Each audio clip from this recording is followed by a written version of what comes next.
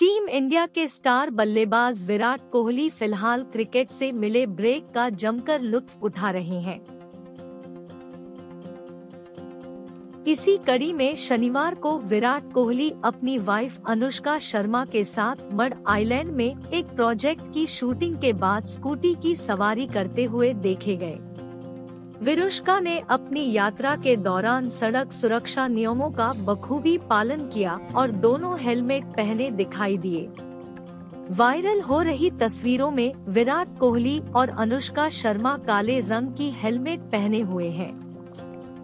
जहाँ Kohli scooty ride कर रहे हैं, वहीं अनुष्का शर्मा उनके पीछे बैठी है। अनुष्का पूरी तरह से ब्लैक आउटफिट में नज़र आ रही है। वहीं किंग कोहली ने व्हाइट स्नीकर्स के साथ हरे रंग की शर्ट और काली जीन्स पहना हुआ था।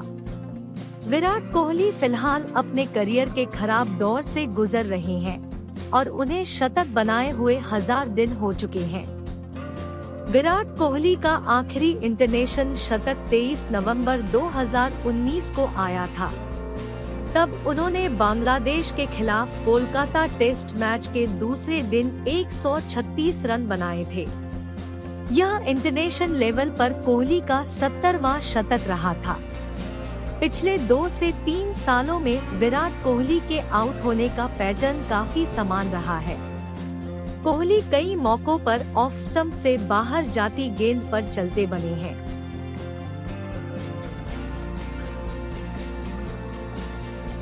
खासकर कवर ड्राइव खेलना तो उन्हें काफ़ी भारी पड़ा है।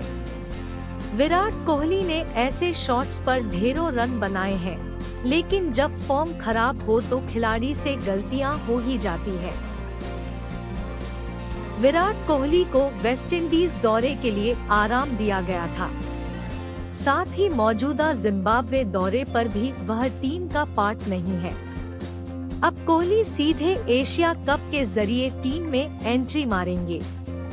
एशिया कप इस महीने की 27 तारीख से शुरू हो रहा है और वह 11 सितंबर तक जारी रहेगा।